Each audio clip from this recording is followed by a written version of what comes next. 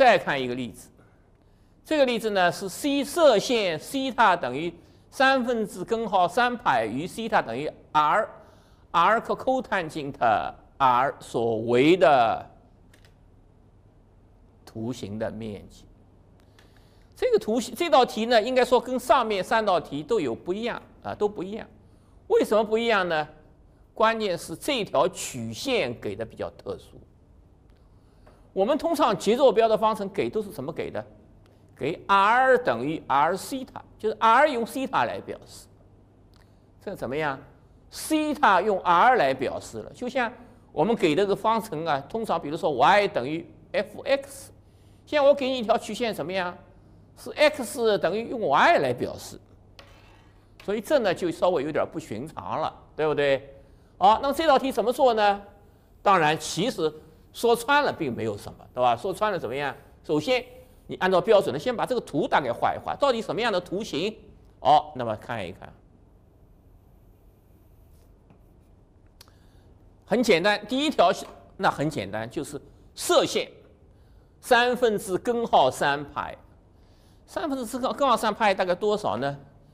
请注意，这个根号三是一点七几，对吧？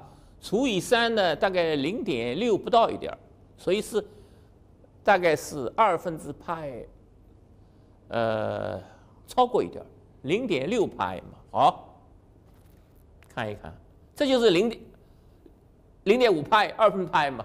所以零点六派大概大概这个地方啊，我们大概。当然不可能非常精确，我们大概这样。这是一条射线，对吧？三分之根号三派西塔等于三分之根号派，这条射线啊，请注意，西塔西塔是个角度，现在用弧度值来表示。三分之根号三派大概这样，对吧？好，然后呢，另外一条曲线呢，就是这条了。这条怎么办？这条当然我们还是没有别的办法，因为不可能用把西塔来表示 r，反解是解不出来的，所以我们就是这样咯 r 慢慢增加，看看最后怎么样。好，r 等于零，r 等于零，那不用说了，r 等于零，西塔也等于零。哦，这个点是个圆，是个开始点。然后怎么办呢？那就看这个对咱们对这个公式熟悉不熟悉了？对这个。arctangent，那么 arctangent r，r 如果等于三分之根号三的话，请注意，哎，像我在这儿写一写，为了清楚些，一个是 r，r 如果等于三分之根号三，其实我我取的正好是特殊角嘛，对吧？r 可等于就是 r 等于三分之根号三，那么请注意，R 可 Tangent 三分之根号三是谁呢？那就是。tangent 哪个角等于三分之根号三呢？那好，显然西塔等于那本如果没有前面那个 r，那就是六分之派，没错啊，三十度嘛。但是前面还有个 r，那你就乘上 r 好了，那就是再乘上三分之根号三。这个数字大概你看大概多少呢？这个我们知道，这个大概是三分。刚才我说大概零点，因因为这是一点七几嘛，所以不到零点六，对吧？那么除以它呢，这个是大概是，所以西塔大概就是零点六，零点六除六大概零点一个派，零点一个派，对吧？很小了啊，零点一个派。那么好，这个是二分之派，相当于这个地方要分成五份了，对吧？零点一，哎，大概在这个位置。所以 r 等于三分之根号三的时候，三分之根号三的时候，三分之根号三这样子好，三分之根号三大概这个数值，请注意这个数值是大概零点零点五多零点六左右。好，如果这个是一的话，那么好，大概这个点在这儿，请注意一开始在这个地方，现在跑到这儿来了，原点现在第一个点。好，第二个我们选一个点，西塔等于六分之派，而 r 的呃这个。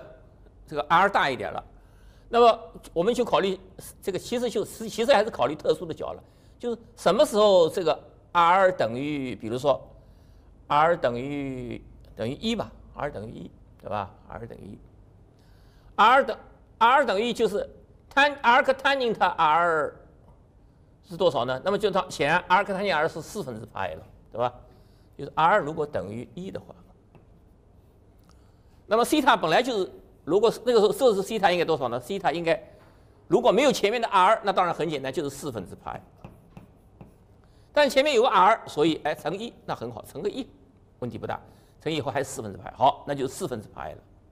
这个角度就是四分之派，请注意，如果 r 等于一的话，哎，我们刚才这个是一，所以这个就是这个点，呃，四分之派。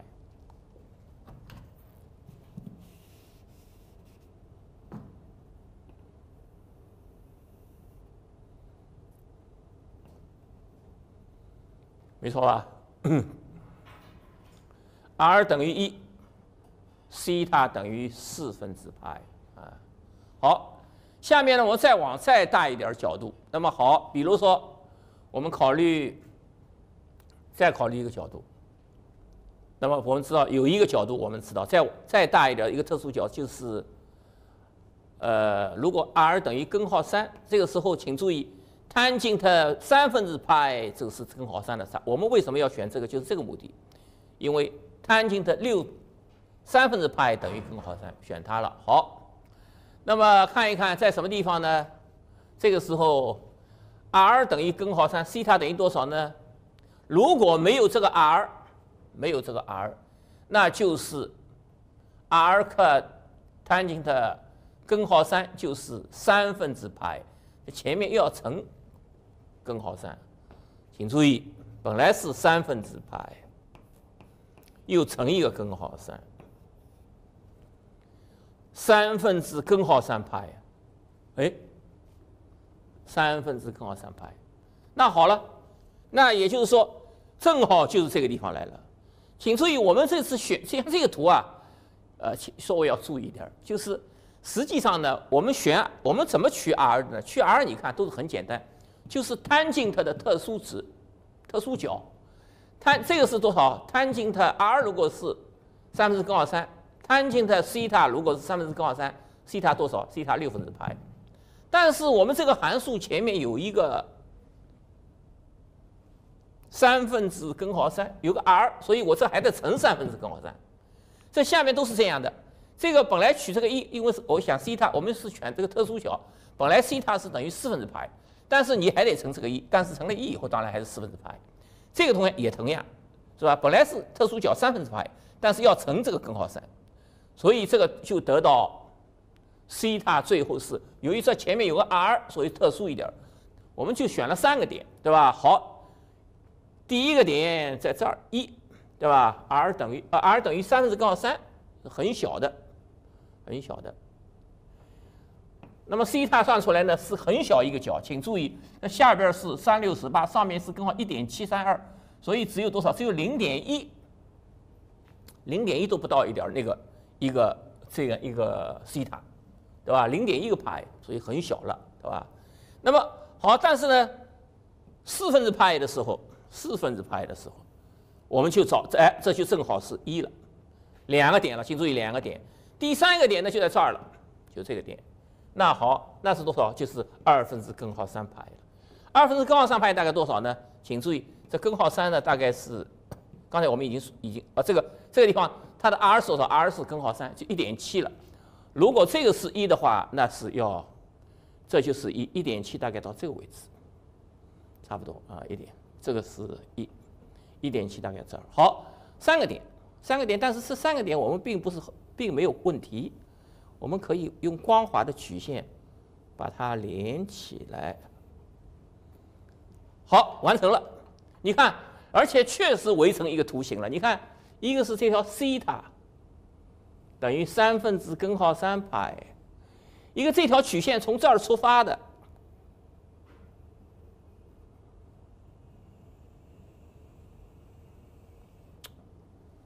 正好围成一个图形。那好了，既然这两步咱们解决了，问题结结分也就解决了，怎么样？好，按照公式写吧。而且起点和终点都很清楚，对吧？我们这个图形怎么来的？从这儿这样转出来的，从西塔等于零一直到这儿，哦，那就行了。a 就等于二分之一，西塔从哪儿开始？零开始，到到哪儿？到三分之根号三派 r 平方 d 西塔。那大家也许会说了，那 r 怎么表示？r 是这个，在这个式表达式，这个曲线是它，咱们怎么反解出来？不可能反解，不可能反解怎么办？哎，这个同学说的好，怎么样？西塔可以用 r 来表示，那咱们就变换变量嘛，就把 r 当积分变量嘛。好，那就行了。西塔等于它，那怎么样？西塔在后边做微分嘛。哦，那就行了。二分之一零三分之根号三派 r 平方，不要动它，把把它当积分变量。西塔谁？西塔后边这个。哦，那么 d 二呃 d 二对吧？这个这个积分先对 r 求导数，那就是 arc tangent r。这个 r r 求导数它不动，然后再加上 r 不动，arc tangent r 求导数一加 r 平方 dr，我们来计算这个东西。不过要注意了，刚才我们把西塔换成 r 了，那么这个地方积分变量也要换了。那么但是这次换起来就非常容易了，为什么呢？因为刚才我们其实已经已经这个归关系已经找到过了。这个地方，r 等于零的时候，西塔等于零，对吧？西塔等于零，r 也等于零，是从这个地方到这儿呢。西塔等于三分之根号三派，r 等于多少？根号三。刚才我们做过，对不对？哦，所以这是二分之一。这个地方上面应该是接分线应该改变了。这个地方接分线对应这个西塔等于三分之根号三派。这个应该是根号三，好，那这个积分下边就好办了，可以接了。那么一共两个两项了，第一项零到三根号三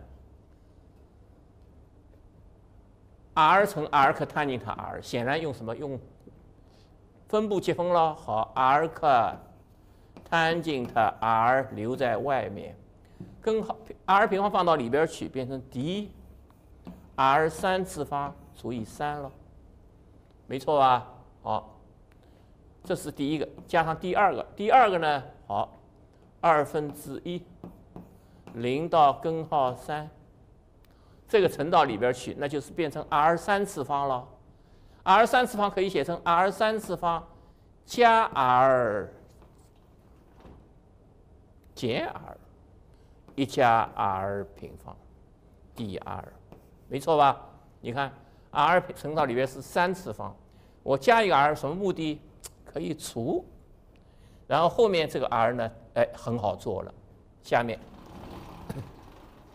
第一项，下面我们有两部分两块，对吧？我们把这一块，请注意这一块呢，呃，r 平方乘上 arc tangent。r 积分，对吧？好，我们先把这一块先拿出来，是二分之一，先做这一块，对吧？好，这块毫无疑问了，是分布积分啊，零到根号三，r 平方放到这个积分号里边去，变成三分之一。r 克 tangent x 放在 r r tangent r 放在外面，然后 r 平方放到里边去，变成 r 三次方，没错吧？这一项，后面这一项呢？好，我们待会儿再做。零到根号三，r 乘到里边，r 三次方，一加 r 平方 dr，没错吧？好了，第一项我们分布积分。分布积分，二分之一 u 乘 v，好，这里边是三分之一，这俩相乘，r 三次方，r 克 tangent r，下面是零，上面是根号三，减去，它们俩换位置，对吧？换位置什么意思？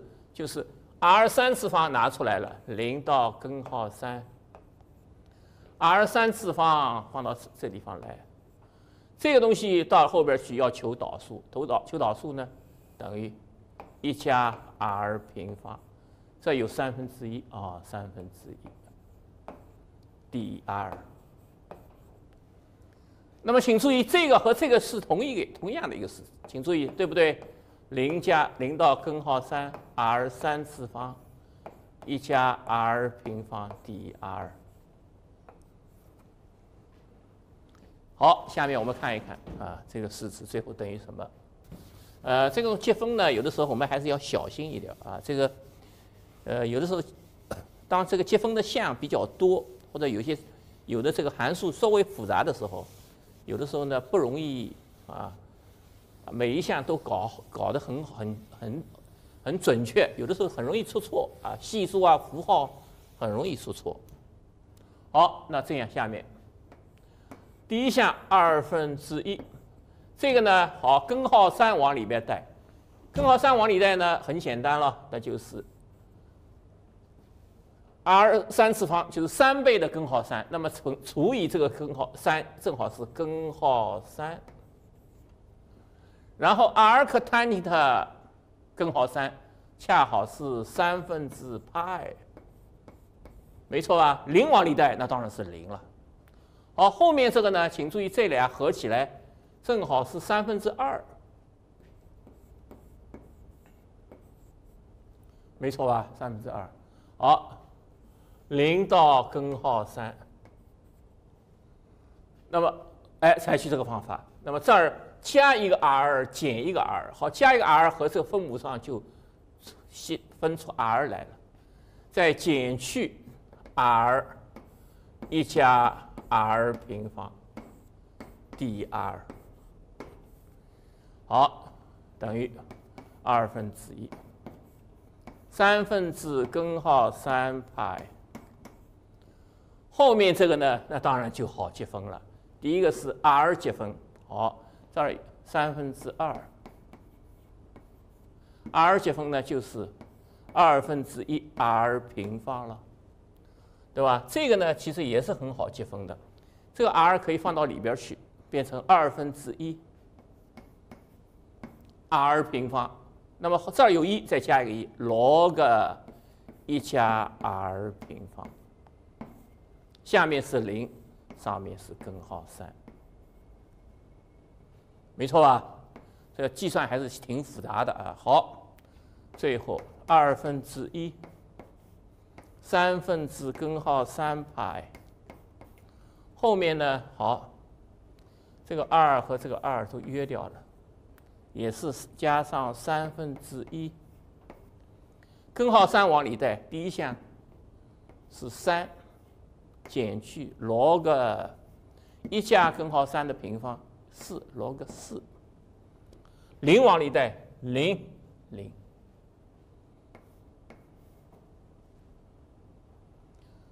啊，这个计算呀稍微还有点复杂啊，有点复杂。好了，好，下面我们看另外一个几何图形了，就是要求这这一些几何体的体积了啊。那么第一类呢，先看看已知截面积的几何体。下面看，如果几何体的底面 x 与与 x 轴垂直，几何体啊有底面和 x 轴垂直的，而在 x 处呢，平行底面的截面面积为 ax，求其体积，什么意思？看图啊，看了图就比较清楚了。这是一个几何体，你看，是一个这个形状很特很很随便，可以说随意一个一个几何体。但是呢，有特点，什么特点呢？这个几何体的底面，你看左边和右边这个底面是和 x 轴垂直的，垂直的。那么在当中呢，任何一个地方 x 的地方，对吧？在 AB 当中任何一点 x 这个地方，如果去用一个横截面。什么叫什么样的横截面？当然也是垂直 x 轴的了，去截，截出来的会有一个截面，在我这个地方，你看，就那个这个地方，这个图形，这个截面，这个截面叫做 ax，ax 啊 ax。那么也就是说，不管什么地方，你去这样截截出来一个垂直于 x 轴的一个横截面，这个面积是知道的。这个面积知道，好，求它的体积。什么地方？任何一个横截面啊，或者实际上就是垂直于 x 轴的，也就是平行底面的，平行底面的这个面去截截出来面积都知道，求它的体积。好，那么怎么来求它的体积呢？微元法了，没有别的法，微元法。微元法怎么说的？你看。考虑 x 到 x 加 dx 上一小段体积，那么你看我这儿也画出来了。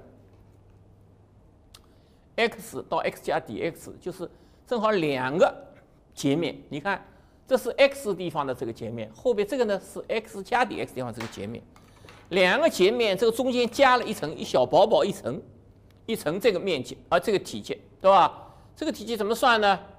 老办法了。这个体积我们把它看成一个什么？请注意，很薄的、很薄的一个，我们把它看成什么？看成柱面。柱面，柱面呢？请注意，柱面侧面应该是和底面垂直的，侧面母线应该和底面垂直的。但是现在当然这样一个东西，这个这样一个很薄的，像一个饼一样的形状，当然不是一个真的柱面了，对吧？因为边上这些地方，你看。显而易见嘛，这个侧面这些地方和底和这个和你这个底面不垂直的，但是可以请大家想一想，这个当你这个德尔塔 x 非常 dx 非常小的时候啊，那么这个误差是多少呢？现在我请注意，我现在是用。把这个当柱面处理了，柱面处理嘛，那就是相当于认为是这个底和这个侧面的母线是垂直的了。那么这样算太好算了，底面积乘高，高是 dx，误差多少呢？误差大家可以想象，误差，哎，我现在这个地方大家可以看，好像是多算了，对吧？因为你看到这里，到这个面，到这个地方慢慢是小了，变小了一点儿。那么好，好像是多算了，好像多算了，多算多少呢？哎，我们在这儿看一看。当然，我现在画的比较是比较圆的，其实不一定圆了，对吧？这个并不是一定不一定是个圆，这个圆这个图图形啊，这个截面截出来不一定是个圆的，反正是这么一个图形。好，那么这儿呢也有一个，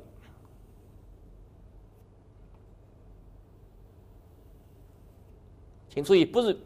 本来图形并不一定是圆的，我这因为画的方便起见呢是这样的，这个地方是 x，这地方是 x 加德尔塔 x，哎，就这一层了，像一个饼一样这一层了。这个图形请注意，我们现在是怎么算的？把它当柱面算了，底面积乘高，高是 dx，对吧？那么有没有误差？肯定有了。这误差大概多少呢？你看，哎，你大概哎，如果如果是如果是上面的底上这些底面和这过来这个底面和这个底面是一样的，那就是一个标准的柱面。那么大概这个地方，你看，大概这个地方，这这种还有。这个地方是多算了，多算了，对吧？当然，这是个立体的图形，是多算了。但是呢，请看，当德尔塔 x 趋于零的时候啊，这个一层，这个一层东西就像一个好像是一个边一圈边一样，这个边状的东西，请注意怎么样？它的这个面积也是趋于零的。所以这个误差大概是多少呢？是这个厚这个厚度 dx 还要乘上这一圈儿，这一圈儿的这个面积，当然也这个时候。随着这他们趋近这个这一圈儿的这个这个地方，它也趋零了，所以这俩乘起来怎么样？当然是个高阶无穷小。所以我们这样做呢，也就是说，后面是什么呀？是它德尔塔 x dx 的一个更高阶的无穷小，这就可以了。我们这个就符合我们用的这个微元法的基本原理了。所以我们就得到 v 就等于 ax dx 啊。下面呢来看一个例子啊，看一个例子。半径为 a 的圆柱体被底面平面和过底面。直径而与底面呈阿尔法角的平面结的一个圆柱器啊，求它的体积。那么这个呢，可能大家可能会觉得，哎呀，这个什么叫圆柱器啊？不是很清楚。哎，把这个句话再好好分析一下就行了。一个圆柱，我们首先来画一个圆柱体，圆柱啊，圆柱。圆柱上面我们先不画上去啊，圆柱被底面平面啊，这就是底面平面了，这下边就是就底面了，对吧？和过底面直径哦，过底面直径，我们把底面有一条直径给它画出来。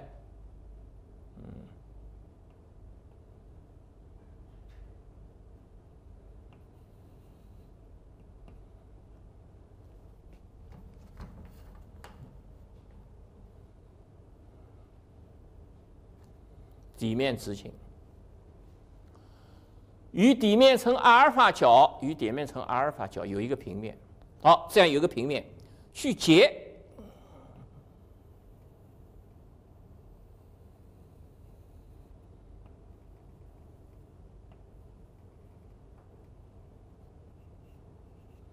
看到吧？看出来了吧？这个平面斜的。这个和这个这个面和这个底面的夹角是阿尔法，哎，一截截出一个圆柱器，现在应该说比较清楚了。这个图形，这是底面直径，这个是去截的那个面，截截在在圆柱上截出这个曲线来，这是底面的那个圆底圆柱的底面的那个圆。对吧？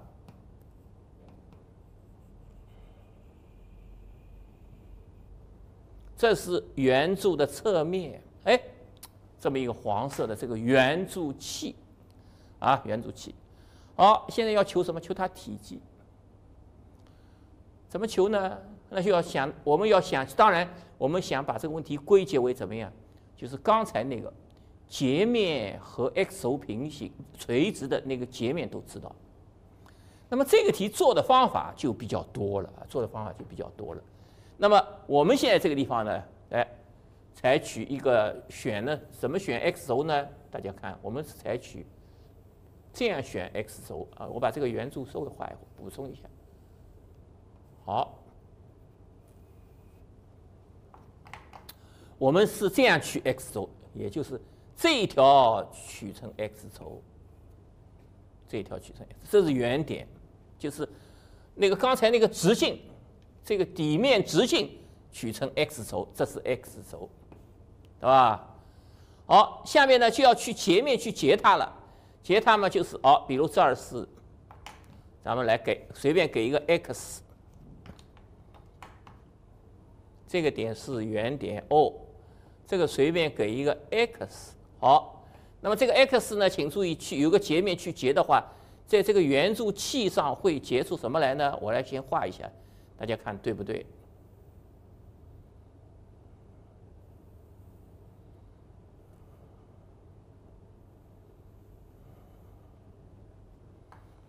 看对不对？垂直于 x 轴会结出这么一个三角形来。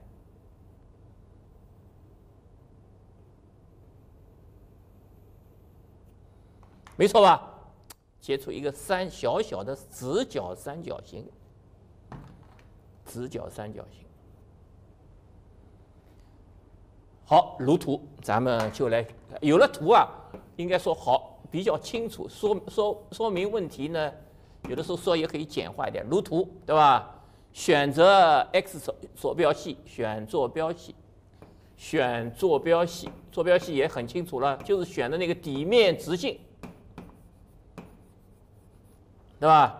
好，那么在 x 处，在 x 处，在 x 处这个横截面现在就是这个白色的直角三角形，ax 多少呢？是多少呢？对吧？好，过 x，对吧？过 x 处，过 x 处，好，在圆在圆柱器上的截面，圆柱器，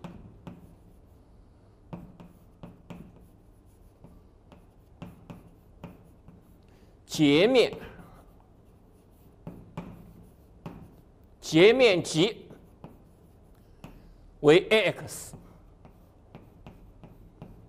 等于多少？我们看一看，这个直角三角形求面积太好求了，底乘高嘛，二分之一底乘高。好，那么这个现在这是 x，这个底和这个高，那么请注意这个角是多少呢？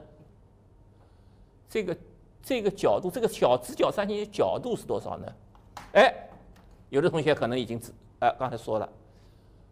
就是这个，这个平面和这个底面的夹角嘛，因为这是一个两面角，你看这是垂直于这个直线的，这也垂直于这个直线的，所以这个垂直于两个垂直于这个平面的交线的，所以这个角是个两面角，所以这个角请注意，这个这个角度是阿尔法，这个小小的角度是阿尔法，那么好，更那就好办了，只要知道下面这一条，就知道上面这个高了。好，我们又把问题简简化了，只要求出这一条来，这一条是多少呢？再要做一条线，我再来做一条线，可能你就更清楚了。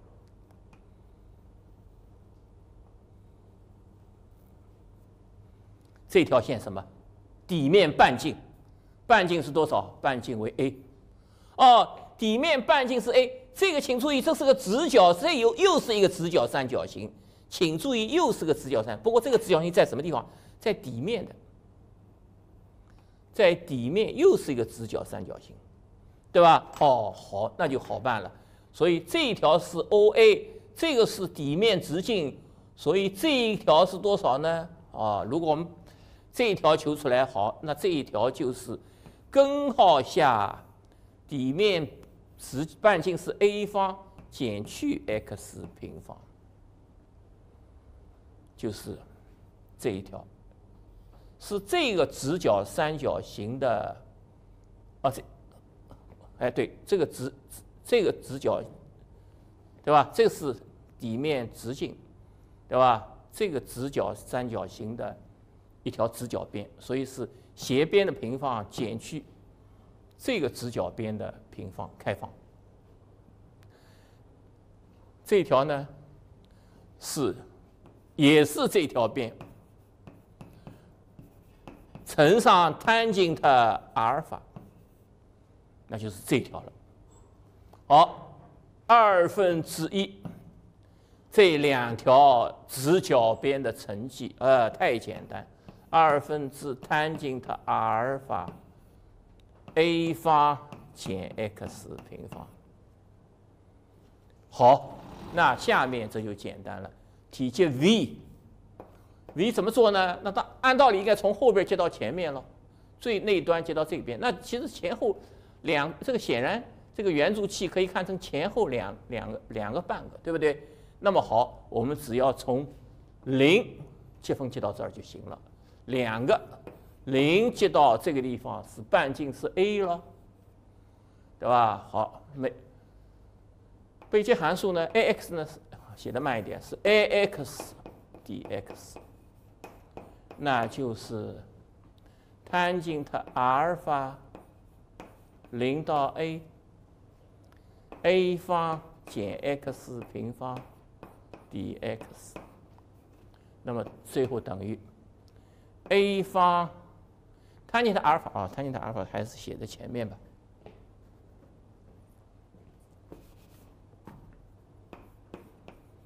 tan 的阿尔法 a 常数积分，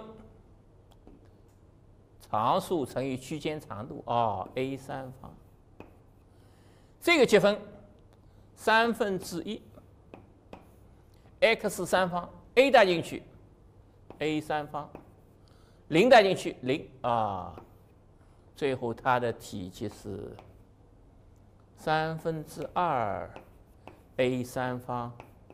摊进它阿尔法，啊，那么这个呢，这个题啊，呃，看上去也许大家觉得啊，这个图形画出来以后分析的时候，可能当中，呃，一开始如果叫你自己做，你也许会不是那么那么清楚啊，不是那么清楚。但是这个题呢，其实是对我们分析啊，尤其几何上这个一个分析，一个图形，了解一个图形。